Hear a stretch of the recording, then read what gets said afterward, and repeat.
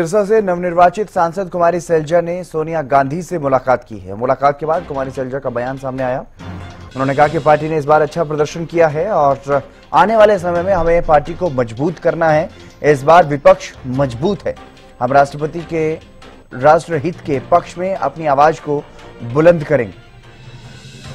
ये बड़ी खबर आपको बता रहे उन्होंने कहा कि इस बार विपक्ष मज़बूत है और राष्ट्रहित के पक्ष में अपनी आवाज़ को बुलंद करेंगे।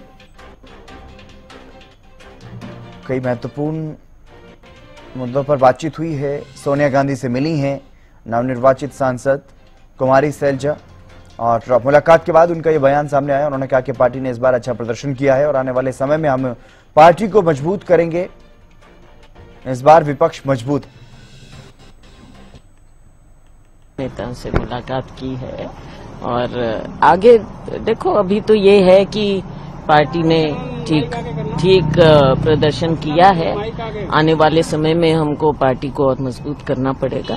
तो ये सब चीज़ें देखनी होंगी हमको। सब में क्योंकि मैडम सोनिया का ही खुद का अपना टेक है कि सदन में जो व्यवहार पिछले कार्यकाल में सरकार की रही वो चलने वाला नहीं है। इसका मतलब इस बार इस बार विपक्ष बहुत स्ट्रांग है कांग्रेस बहुत स्ट्रांग है। और हम गलत काम होने नहीं देंगे और देश के हित में जो होगा, उसके लिए हम आवाज़ उठाएँगे और देश के हित के कार्य हों, इसी में यही हमारा मैंडेट है।